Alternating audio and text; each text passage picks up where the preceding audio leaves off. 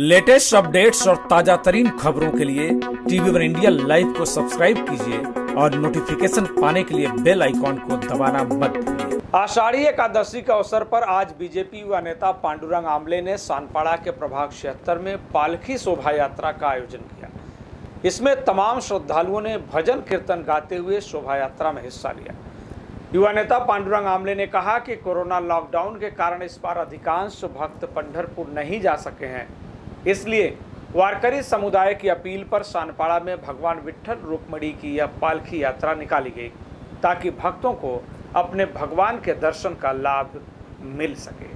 देखिए रिपोर्ट।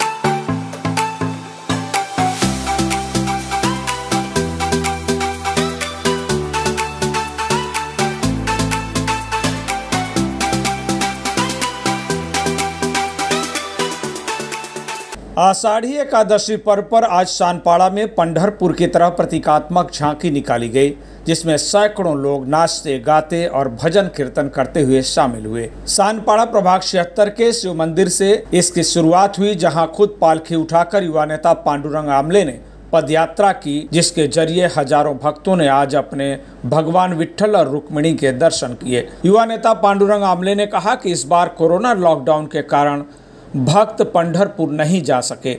ऐसे वारकरियों और भक्तों की कामना पूरा करने यह पालखी निकाली गई।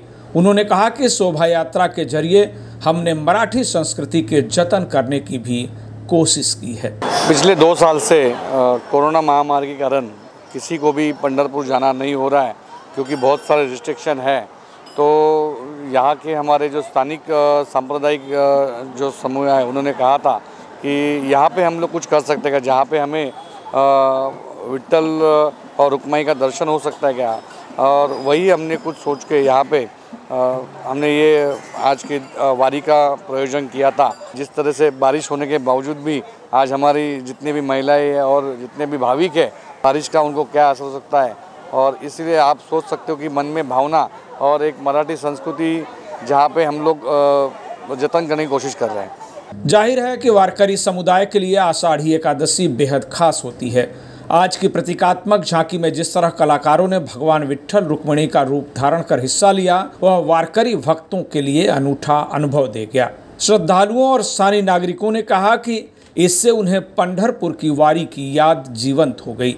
श्रद्धालुओं ने इस मंगल पालखी यात्रा के लिए युवा नेता पांडुरंग आमले की सराहना की जिनके जरिए उन्हें अपने भगवान के दर्शन का लाभ मिल सका।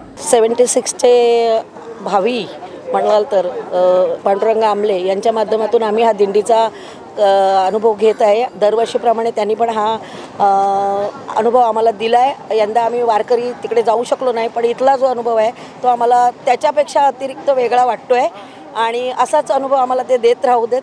असाच सेवा आमच्याकडून पांडुरंगाची होत राहू देत आणि ह्या पांडुरंगाची पण सेवा आमच्याकडून होत राहू देत हीच ईश्वरचरणी प्रार्थना. पांडुरंगाचं दर्शन घ्यायला जाता येत नाही म्हणून त्यांनी ह्या वा वारीचं दिंडीचं आयोजन केलं आणि त्या माध्यमातून लोकांना तिकडे नाही पण अ, सानपाड्यामध्ये लोकांना पांडुरंगाचं दर्शन होतं आहे. तर त्याबद्दल त्यांना तर आम्ही खूप त्यांचे आभार मानतो. Bureau report TV one India.